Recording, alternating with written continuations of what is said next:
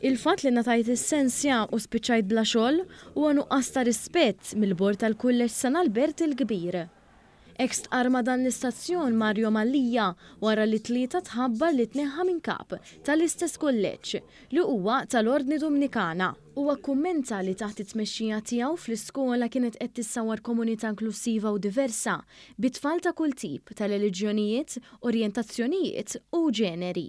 Mallia saħaq li t-tkeċċija tiegħu minn kap ta' dan il-kulleġġ ma tirreflettix dak li għamel flimkien mal-għalliema f'dawn is-sittax-il sena. Għamilha ċara li ma kienx hu li telaq imma li tkeċċa minħabba li dik li l-amministrazzjoni tal-kulleġġ sejħilha insubordinazzjoni aggravata. Kellna l-opportunità, u għad hemm l-opportunità għax it-tama l-aħħar li tmut, li naħdmu flimkien biex is-servizz li qed nagħtu jsir aħjar. Li nisimgħu lil xulxin imma.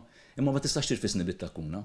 Il-professjonisti naħseb jekk hemm xi ħaġa li ried joħroġ minn din l-esperjenza, u li kelli nħallas il-prezz tagħha jien ma jimpurtax, imma jekk joħroġ xi ħaġa minn din il-biċċa xogħol huwa li l-edukaturi għandhom id-dritt għar-rispett.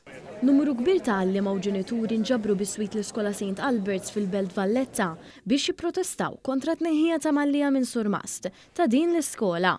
B'rabta ma' din il-kwistjoni l-Union tal-Għalliema l-MUT irreġistrat tilwima industrijali mal-Ordni tad-Dumnikani u mal-Kurja.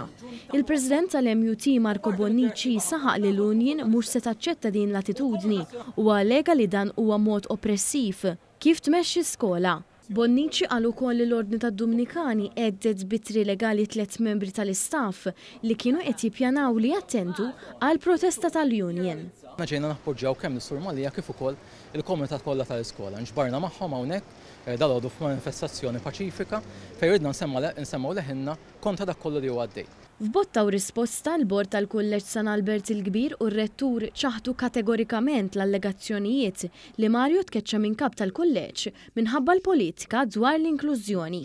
Fi stqarrija qalu li Mallia twaqqaf minn xogħlu minħabba kwistjonijiet maniġerjali u proċeduri li ilhom jinstemgħu u li ma ġewx riżolti. Ġie rrimarkat li għal bosta snin il-Provinċja Domnikana Maltija sostniet finanzjarjament u b'diversi modi oħra l-operat tal-Kulleġġ, anke fiż-żmien meta s-Sur Mallia kien Surmast. Intqal ukoll li l-Bord tal-Kulleġġ San Albert il-Kbir dejjem kellu għal qalbu kwalunkwe sistema li ttejjeb il-ħajja tal-istudenti, tal-familji u tal-edukaturi kollha, inkluż politiki ta' inklussività li dejjem ħaddnet u li se timbotta 'l quddiem fis-snin li ġejjin. bl-istess viżjoni u perseveranza. Il-Bord tal-Kulleġġ San Albert il-Kbir qal li jħoss li mhuwiex opportun li jiddiskuti fil-pubbliku dak li seħħ.